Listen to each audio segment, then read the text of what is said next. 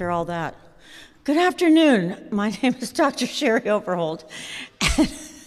I am head of the Voice and Opera Department. Uh, I want to thank Dr. Maxime Dois for all of his, his preparation today for the students and the students themselves. We've had a beautiful fall semester and we look forward to you coming back for the spring. Happy, happy holidays.